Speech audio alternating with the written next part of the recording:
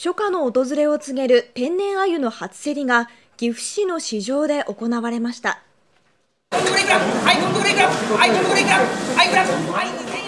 岐阜県の長良川の一部で今日午前0時に鮎漁が解禁され岐阜市中央卸売市場で初競りが行われました。